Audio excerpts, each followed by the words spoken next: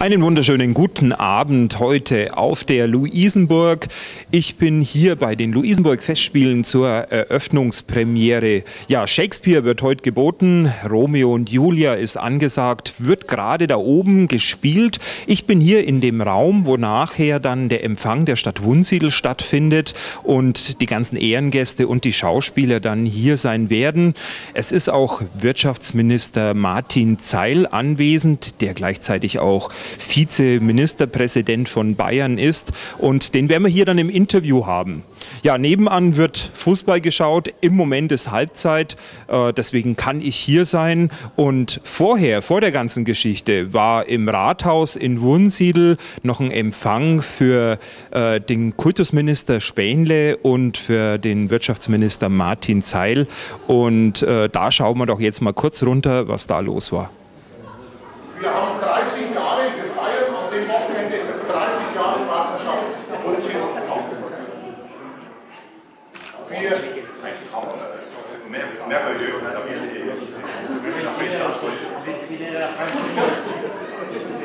Da haben wir auch die stellvertretende Bürgermeisterin, da die Regie. Und wann ist die Regie? Nein. Hier steht sie. Ah, Regie. Die Regie. Fachschule gegründet und nach dem zumindest mal den Darmfront, der ist natürlich wieder nicht da.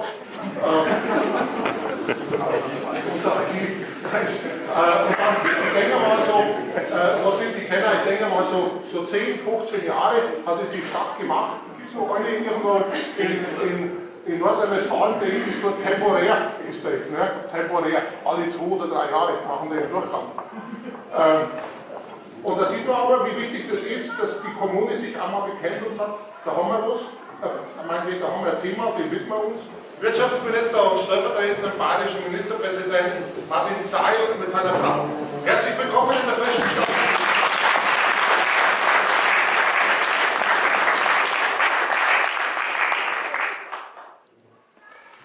Also wunderbar. Ich bin ja schon mehrfach jetzt in den Genuss Ihrer Vorlesung gekommen. Es gibt eigentlich äh, wirklich äh, wahrscheinlich niemanden, der, äh, Sie gehört ja auch zum Bürgermeister, so leidenschaftlich über seine Stadt reden kann. Äh, Und deswegen vielen Dank, äh, dass Sie mich jetzt ja immerhin schon zum zweiten Mal in diesem wunderschönen Raum empfangen. Auch äh, mein herzliches Grüß Gott an Sie alle, an den Kollegen Schöffel und alle anderen, die hier Verantwortung tragen in Wirtschaft, Politik und Gesellschaft. Denn ich meine, Sie alle machen ja die Region, machen Unsiedel zu dem, äh, was es ist. Und ähm, natürlich ähm, haben wir, wenn man ihr so zuhört, dann könnte man eigentlich tatsächlich fast weinen. Es ist ja, ja alles in wunderbaren äh, Das habe ich nicht gesagt.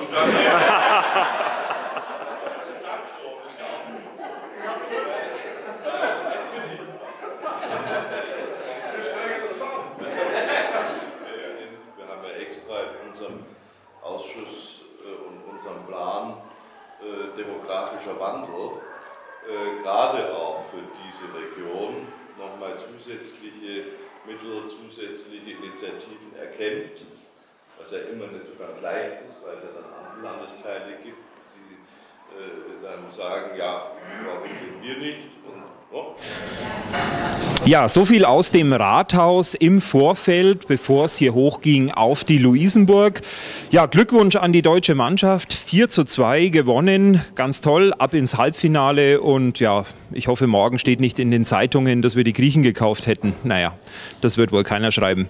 Ähm, bevor wir hier lang rumlabern, ich würde mal sagen, wir gehen jetzt rauf auf die Luisenburg selbst, denn da wurden die Eröffnungsreden gehalten und die wollen wir euch natürlich nicht vorenthalten. Bis gleich. La vie de Château.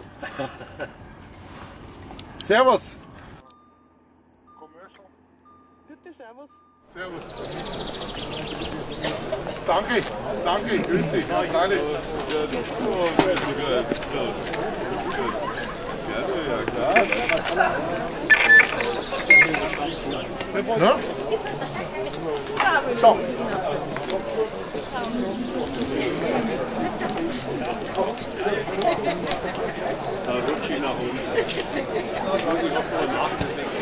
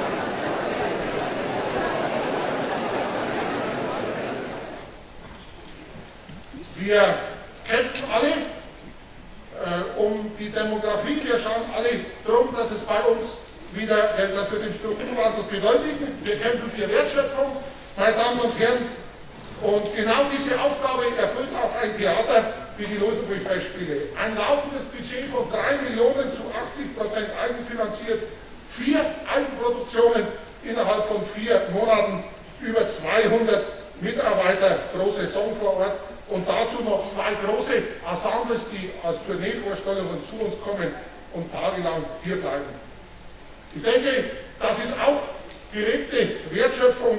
Herr Minister, liebe Freunde, ich denke, wir sind auf einem guten Weg. Viel Freude heute Abend mit Romeo und Julia. Dankeschön.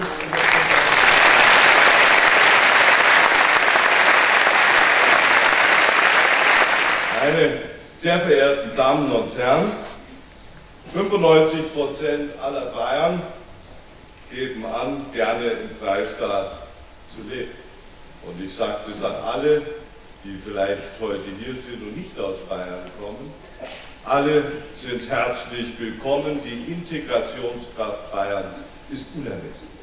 Meine Damen und Herren, ich äh, darf, wie gesagt, allen nochmals sehr herzlich danken und äh, die diese wunderbaren Festspiele möglich machen, denn wir wissen, Bayerns wirtschaftliche und kulturelle Stärke kommt aus seinen Regionen.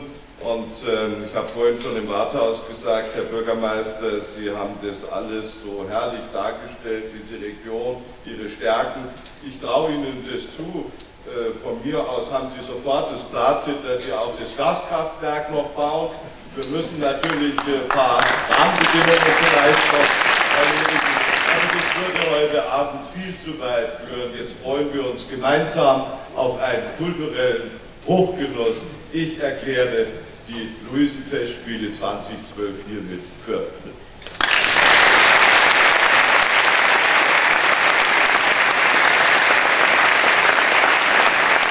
So, das Stück ist beendet. Man hat den Applaus bis hier runter gehört und natürlich strömen jetzt die Massen ja, zum einen zu den Parkplätzen und zum anderen natürlich hier rein, die Ehrengäste. Äh, ihr seht, ich habe mir jetzt auch schon äh, ein gutes Weizen aus Wunsiedel geholt und ja, ich gebe jetzt noch mal schnell raus und dann schauen wir mal, wie die Massen hier reinströmen und runterströmen und dann holen wir uns die ersten Meinungen zum Stück.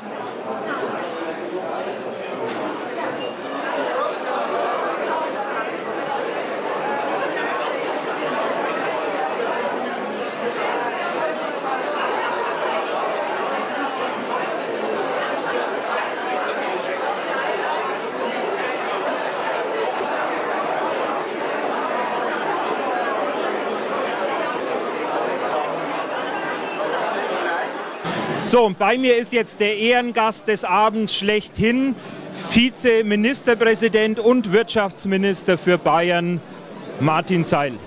Guten Abend. Einen schönen guten Abend.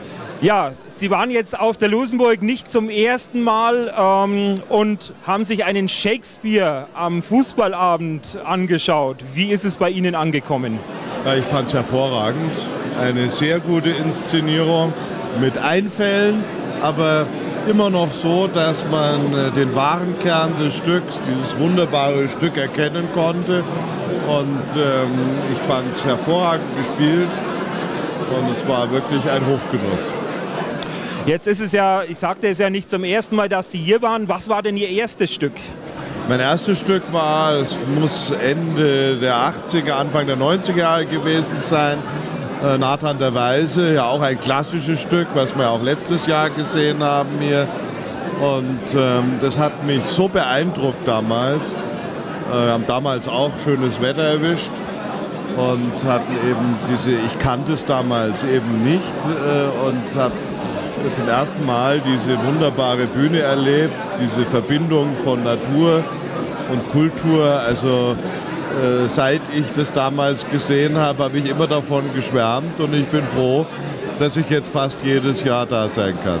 Na, das hat ja dann perfekt gepasst, dass Sie auch diesmal wieder bei wunderschönem Wetter hier auf der Lusenburg waren. Sie waren ja vorher im Rathaus unten und äh, Bürgermeister Beck hat Ihnen viele, viele Aufgaben, glaube ich, mitgegeben dann nach München. Äh, wie haben Sie denn den Bürgermeister Beck erlebt? Sie kennen ihn ja schon ein bisschen. Der ist schon, Ja, es der ist- ist schon beeindruckend, oder? Ja, es ist ein, ein äh, leidenschaftlicher Vertreter seiner Stadt. Er macht äh, viele gute Sachen zusammen mit äh, der Region. Und ähm, es ist eben ein Beispiel, dass man eben auch in einer Region, die ja, wie wir wissen, nicht nur auf Rosen gebettet ist, wo es einen auch lang wirkenden Strukturwandel gibt, aber mit viel Tatkraft Dinge in Bewegung setzen kann. Ich habe ihm heute auch wieder versichert, dass wir das auch als Staatsregierung weiter unterstützen. Wir haben ja gerade auch für diese Region ähm, in unserem Aktionsprogramm Demografischer Wandel jetzt zusätzliche Initiativen gestartet, zusätzliche Mittel zur Verfügung gestellt, weil wir das genau stärken wollen. Diese Aktivitäten hier, ich habe auch heute wieder viele Unternehmer kennengelernt, die hier an lang, äh, auch schon lange Zeit hier an dem Standort sind. Und äh, die Stadt selber macht viel, haben über Energiepolitik gesprochen.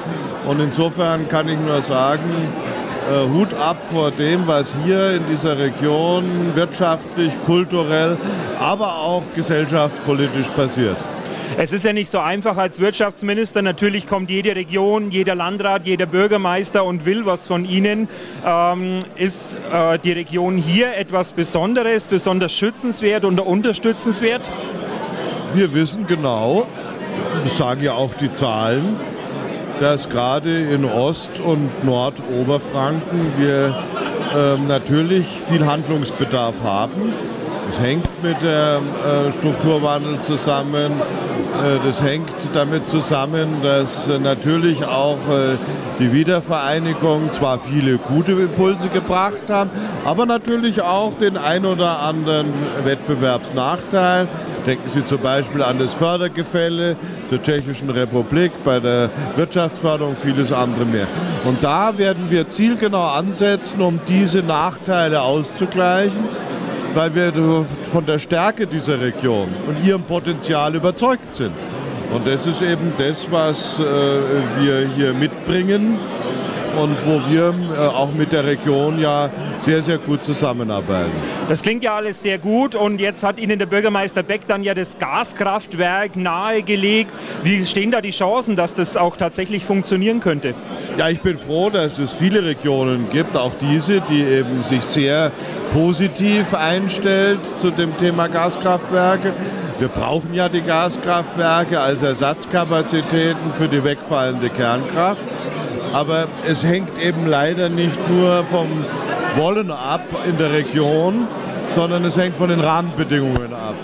Äh, Im Moment ist es so, dass wir viele Standorte haben, dass wir aus dem In- und Ausland auch Investoren haben. Ich war gerade vor wenigen Tagen in Russland, wo auch die russische Seite uns nochmal erklärt hat, dass sie natürlich sehr interessiert sind. Aber es fehlen eben noch ein paar Bausteine, Rahmenbedingungen, weil sie unter der momentanen Situation wirtschaftlich Gaskraftwerke nicht betreiben können. Und da muss gehandelt werden. Ich fordere das ja seit vielen Monaten ein, auch von der Bundesregierung. Und da müssen wir jetzt sozusagen noch äh, die letzten Meter nehmen. Und dann äh, hat natürlich so ein Standort wie Arzberg auch gute Chancen. Da sind wir sehr gespannt, was da noch passiert. Es wird noch einiges sich in nächster Zeit tun, auf jeden Fall. Wir hoffen, wir dürfen Sie auch wieder hier auf der Luisenburg begrüßen und dass es Ihnen wieder genauso gefällt und dass Sie wieder so tolles Wetter mitbringen. Vielen Dank, Herr Zeil, und schönen Abend noch. Vielen Dank. Wiedersehen. Ja, und jetzt ist unser Landrat bei mir, der natürlich das Stück gesehen hat.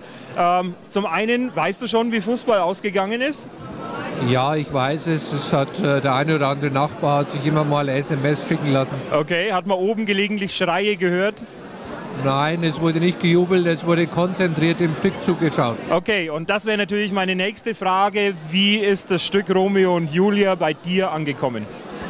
Es ist wieder mal eine typische Lerchenberg-Philosophie, ein klassisches Stück, ein klassisches Drama, ganz modern verpackt und neu verpackt, aber so gut gemacht, dass man eigentlich immer wieder ganz neugierig gewartet hat, welche neue Szene wird denn kommen. Also es war einfach wieder mal faszinierend.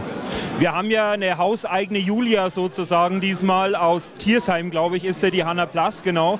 Und ähm, ja, wie ist die Julia bei dir angekommen? Wie fandest du unsere hauseigene Julia? Es ist einfach klasse, wenn man weiß, das ist die Schauspielerin, die aus unserer Region kommt und jetzt praktisch auch Karriere macht, nationale Karriere und jetzt wieder zurück ist und bei uns auch spielt und so fantastisch spielt. Ähm, es hat man auch im Umfeld bei uns auch gemerkt, also alle werden sehr erfreut und haben natürlich auch sehr lange applaudiert und waren dankbar, dass sie wieder so ein äh, interessantes Stück auch sehen konnten auf der Luisenburg. Heute ist ja auch der Wirtschaftsminister da. Habt ihr das gleich genutzt, um den Wirtschaftsminister ein paar Aufgaben mitzugeben? Ähm, es kommt selten ein Kabinettsmitglied zu uns, ohne dass er Aufgaben, Wünsche oder auch Forderungen mitbekommt. Und natürlich nutzt man sowas, äh, um auch das eine oder andere Wort auszutauschen. Ja, dann hoffen wir, dass es so weitergeht. Natürlich, dass zum einen die Kabinettsmitglieder herkommen, dass man ihnen Aufgaben mitgibt und zum anderen, dass sie die dann auch erfüllen. Dankeschön. Bitteschön. Ich weiß jetzt nicht, wie die Tore gefallen sind, aber meine Damen und Herren, was ist 4 zu 2? Die Luxemburg Premiere, die ist 5 zu 0 ausgegangen. Oder? Was höre ich da?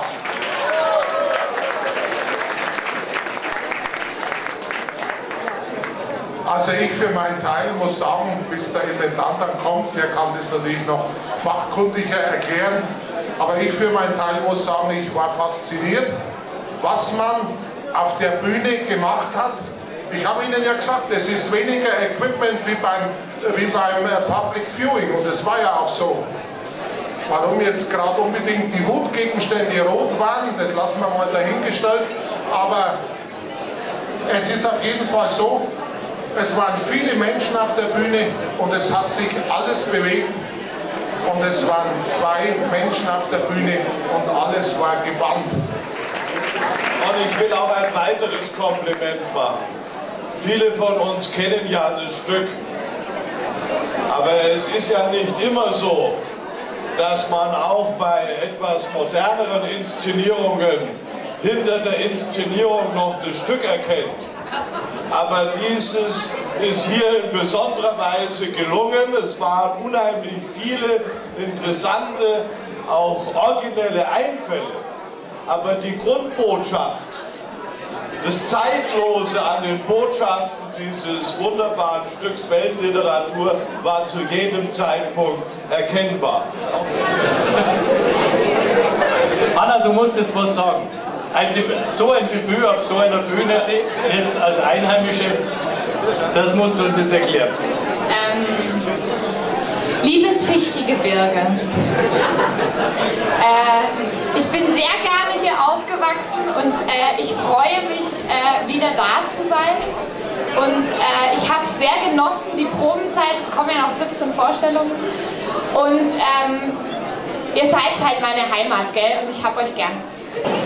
So, bei mir ist jetzt die Julia, die aber eigentlich Hanna heißt und ähm, gar nicht blass ist, sondern, du entschuldigst den Witz bitte, sondern äh, schöne rote Bäckchen hat und ähm, ja, also die Hanna Blass ist hier und die hat hier die Julia gespielt und ich begrüße sie erst einmal. Vielen Dank, vielen Dank. Ja, die Bäckchen sind noch ein bisschen rot, weil alles so schön ist. Das ja, aber das so passt ja. Ich, also ich glühe auch immer hier ja. und äh, Maske hilft gar nichts, äh, nee, vollkommen sinnlos. Aber das Essen und die Getränke sind ja auch ganz gut. Ja, ist ja gut so und es ist auch schon äh, mindestens ein Weißbier, das das zum Glühen oh. bringt. Oh.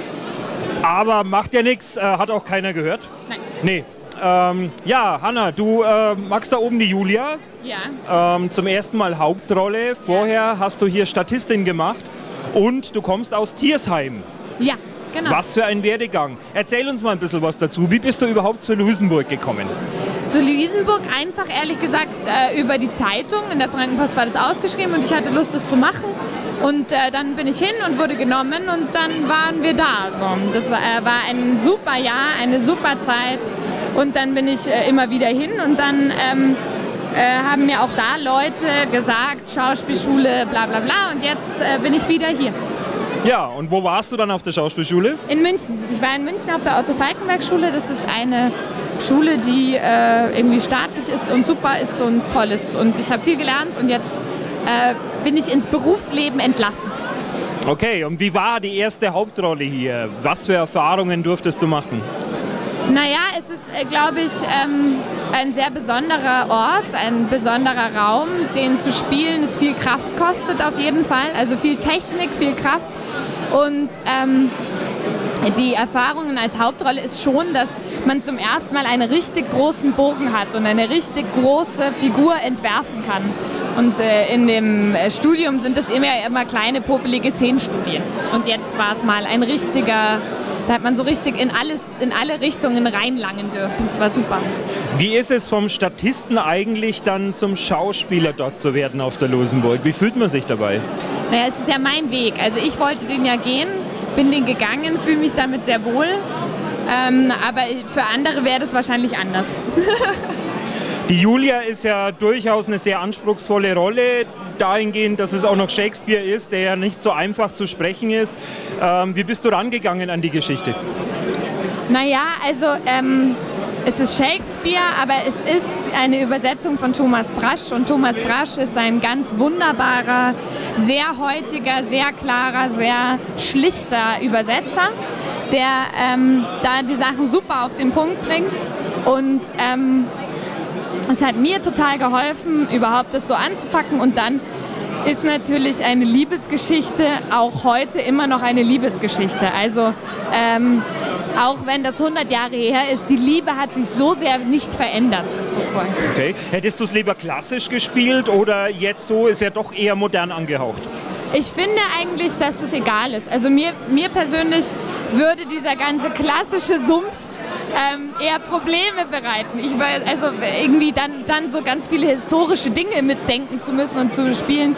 Ich möchte mich da ehrlich gesagt lieber auf die Figuren und auf die Situationen konzentrieren. Also. Okay. Ja.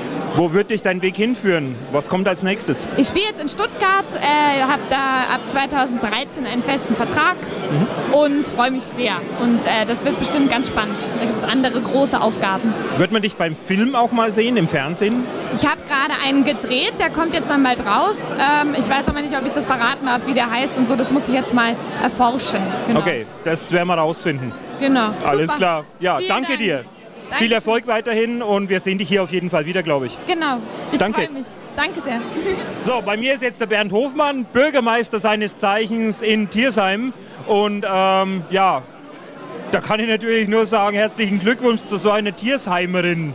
Denn äh, du hast ja sozusagen ein Urgewächs aus Tiersheim hier, das die Julia gespielt hat. Wie ist es denn bei dir angekommen, das Stück? Also Ja. Ganz natürlich hervorragend ja selber. natürlich. äh, wenn man die Hanna kennt von Kind auf und man sieht sie jetzt in dieser Rolle, dann ist man eigentlich begeistert, weil man nur staunen kann, welches großartiges Talent sie da verkörpert. Ja, du hast jetzt genau für der Hanna dann speziell gesprochen. Ähm, das Stück insgesamt, wie fandst du so die Inszenierung? Also dieses Stück äh, insgesamt hat mir sehr gut gefallen. Äh, es war modern inszeniert, ganz klar. Aber es hat äh, durch diese großartige Szenerie der Luisenburg und durch die vielen Statisten an, in einen extrem hohen Wert da gewonnen. Wir haben ja gerade gesehen, dass du, um da zurückzukommen wieder auf die Hanna, ein relativ inniges Verhältnis eigentlich hast. Wie weit kennt ihr euch denn? Ja, äh, bedingt dadurch, äh, dass unsere Kinder dann auch äh, mit der Hanna schon im Kindergarten zusammen waren, in der Schule letzten Endes und äh, meine Frau vor allen Dingen auch einen, einen sehr engen Draht zur Familie pflegt. Das klingt ja alles sehr gut. Du wirst also auf jeden Fall ihre Karriere weiterverfolgen, gehe ich davon aus. Und vielleicht auch den anderen kleinen oder kleinen Anschub leisten, wenn es irgendwo geht, oder? Na klar, mit Sicherheit. Und die nächste Aufgabe, die sie zu vollziehen hat, ist der Eintrag ins Goldene Buch des Marktes Tiersheim. Na, da sind wir auf jeden Fall dabei, würde ich sagen. Dankeschön, Bernd. Danke. Tschüss. Ja, jetzt habe ich bei mir natürlich noch den wichtigsten Mann eigentlich hier der Stadt Wunsiedel. Das ist der erste Bürgermeister Karl Willi Beck. Äh, und er strahlt wie immer, wenn hier eine tolle Premiere war. Charlie, wie hat es dir gefallen? Mir hat es sehr gut gefallen. Äh, Ich äh, freue mich natürlich immer auf die Eröffnungspremiere sowieso. Früher, muss ich ehrlich zugeben, haben mir die, die Knie geschlottert, vielleicht im ersten und zweiten Jahr. Mittlerweile freue ich mich drauf. Nein, die Premiere heuer ist super gelungen. Ich wusste schon, dass es eine Premiere, eine Inszenierung wird, fast ohne äh, Equipment, äh, fast ohne Kulissen. Und ich denke, das ist äh, der Re Regisseurin super gelungen, wie sie das Stück auf die Bühne gebracht hat. Auf, und dann dazu noch auf der einen Seite 50, 60 Leute auf der Bühne. Du meinst, die ganze Bühne bewegt sich und dann plötzlich wieder äh, Romeo und Julia alleine und sie schaffen es, die Menschen so zu fesseln, dass du hättest eine Stecknadel fallen hören. Es war ganz leise im Theater ich fand es halt einfach sagenhaft. Deutlich besser als noch vor ein paar Jahren, wo die Bühne zugebaut war damals. Das war ja leider nicht so gelungen. Ähm, aber ja, diesmal offen, so wie es sich gehört. Na, ich denke mal, das muss man auch, äh, haben wir natürlich schon auch dem Michael Lerchenberg äh, zu verdanken, weil er natürlich sich die Dinge schon sehr genau anschaut und einen einfach auch einmal sagt, also Leute, passt auf, so und so gefällt mir das nicht, äh, so und so soll das laufen und, äh, oder einfach die Leute auch gleich entsprechend auswählt und die äh, Petra Wüllenweber, sie hat ja letztes Jahr den Holledauer Schirme inszeniert, hier sicherlich mit ein bisschen mehr Kulisse, aber ja auch unter totaler Ausnutzung der Bühne. Und das ist ja heute auch gelungen. Die Bühne auch total ausgenutzt.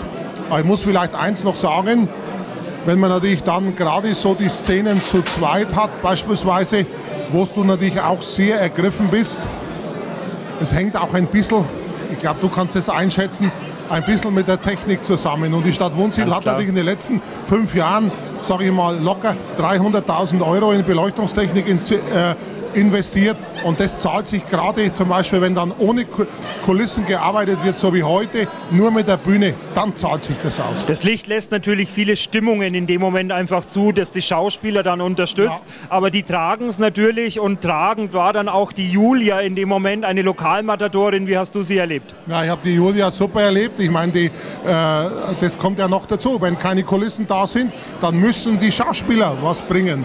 Und wenn dann, sagen wir mal, vielleicht 70 50 auf der Bühne sind, okay, dann kommt es durch die Menge. Aber wenn sie zu zweit sind, dann müssen sie, äh, dann sind sie ganz alleine auf der Bühne und dann müssen sie was bringen, sonst äh, äh, gehen sie unter. Und sie haben was gebracht und die Julia äh, ins Logi in Wunsiedel gegangen, das ist ja eigentlich unglaublich. Äh, sie haben das gut gemacht. Sie haben das, äh, ich habe sie auch beglückwünscht, ich habe gesagt, so eine Leidenschaft, habe ich gesagt, das ist natürlich der Hammer. Nein, nein, ähm, also ich denke, das ist eine gute Auswahl von Michael Lerchenberg gewesen für diese beiden Hauptdarsteller. Und ich bin auch überzeugt, die fühlen sich beide pudelwohl in dieser Rolle. Es tut sich ja sehr viel hier auf der Lusenburg, nicht nur auf der Bühne, sondern vor allem im Moment drumherum. Äh, du hast ja jetzt hier eine völlig neue äh, Luisenburg eigentlich erlebt, noch nicht ganz so, wie sie sein soll, aber ja. das wird noch. Ähm, wie bist du zufrieden damit? Ich bin sehr zufrieden damit. Ich denke, der Zuschauerraum hat gewonnen, der ist äh, richtig nobel geworden, auch mit diesen schwarzen Akzentuierungen. Äh, die Bühne, das darf man nicht übersehen, das gerät manchmal ein bisschen in den Hintergrund. Der ganze Bühnenboden neu gemacht mit dem neuen Material von Reau, unserem Hauptsponsor, wo wir halt vor allen Dingen auch, wenn es regnet, äh, eine große Sicherheit haben. Das war bisher ja ein bisschen ein Manko. Und dann natürlich einfach mehr Raum für die Schauspieler, wenn es um die Sozialräume geht, mehr Raum für die ähm, äh, Theaterschneiderei, mehr Raum für die für das Schminken und für alles, was dazugehört. Und äh, natürlich äh, überhaupt erstmal vernünftige Voraussetzungen für Statisten. Du wirst es wissen, ja. was früher war, wollen wir gar nicht drüber reden. Diese Hütte Beste war toll. Voraussetzungen für die Theaterwerkstätten. Und das alles zahlt sich aus auf der Bühne. Jetzt mal kurz weg von der Bühne. Heute war natürlich ein harter Bürgermeistertag wieder. Staatssekretärin Melanie Hummel war da. Ihr habt äh, Spatenstich in der Retsch äh, gemacht, das wir auch für euch haben natürlich. Ähm, und dann war äh, der Dr. Spähnle da, der Kultusminister und dann natürlich heute zur Eröffnung generell dann äh, der Wirtschaftsminister, an dem ja. du viele Wünsche hattest. Ähm, normaler Tag für einen Bürgermeister in Wunsiedel? Nein, nein, das ist auch für einen Bürgermeister in Wunsiedel kein ganz normaler Tag. Aber äh, es ist wichtig, sich auf diese Tage einzustellen. Und ich habe mir natürlich überlegt, was magst du? Ich habe äh, der Melanie erklärt, dass das ein Wahnsinn ist, was heute hier abläuft, dass wir heute den Spatenstich machen äh, für eine Konversion einer Industriebrache, die deshalb entstanden ist, weil wir vor 20 Jahren nicht gehandelt haben und ausgerechnet heute auf den Tag auch der Finanzausgleich deshalb geändert wurde, weil wir das äh, begreiflich machen konnten, dass einfach das hier ein Nachholbedarf besteht. Äh, dann äh, der Herr Spenle, der war bei der Konferenz der Landräte dabei und ja. ich habe ihn eingeladen, dass er zu uns ins Rathaus kommt. Er war da. Er ist äh, natürlich ein Freund der Stadt Wunsiedel ähm, bezüglich Katharinenberg, aber er ist für uns natürlich ganz wichtig bezüglich unserer Schulen. Wir haben momentan ein Sanierungsprojekt laufen, wo wir schauen müssen, dass wir die Finanzierung durchbekommen. Und ähm, das habe ich mit dem Herrn Spähle noch einmal besprochen und ihm noch einmal dargelegt, was Wohnsiedel für ein wichtiger Schulstandort ist. Und dann der Wirtschaftsminister. Äh, ich denke mal, das ist äh, ganz gut gelungen. Wir haben uns überlegt, er ist ja auch für die Energie zuständig. Und da möchte ich nur sagen, er hat heute gesagt, baut das Kraftwerk, ich bin dabei. Also da äh, denke ich einmal, da kommen wir auf einen guten Weg. Da sind noch einige Gespräche zu führen. Da ist das EEG noch zu diskutieren. Aber es ist schon mal ganz wichtig, und er weiß das auch, dass wenn es so ein Kraftwerk gibt, dass wir, dass erstmal Arzberg ein guter Standort ist und dass wir das auch drauf haben und dass wir dabei sind, das hier bei uns zu machen. Also ich habe vorhin auch noch mal mit ihm über das Kraftwerk gesprochen und es klang alles sehr, sehr positiv. Insofern schauen wir auch positiv in die Zukunft. Ein rundweg zufriedener Bürgermeister heute. Ein rundweg zufriedener Ja, das auf jeden Fall. Und äh, es gibt auch noch zwei harte Tage jetzt. Brunnenfest steht an, Tag der Partnerstädte, also noch einiges vor dir. Das Hammerwochenende schlechthin in der Festspielstadt Wunsiedel und da freuen wir uns aber drauf und, das, und da werden wir auch noch einiges losmachen. Das ist ein gutes das Schlusswort. Wetter schaut ja auch sehr, sehr gut aus, deshalb kann ich nur sagen, kommt zu uns morgen in die Stadt äh, zum Brunnenfest und seid in der Stadt. Wir sperren die Stadt für Autos und genießt einen wunderschönen Fichtelgebirgsabend in Wunsiedel. Genau, das kann man nicht besser sagen. Dem schließe ich mich auf jeden Fall an. Wir verabschieden uns jetzt mit dem Bürgermeister von Wunsiedel aus der Festspielstadt Wunsiedel von der Luisenburg und sagen Danke fürs Zuschauen und ja, kommt doch nach Wunsiedel, da gibt es einiges zu sehen. So ist es.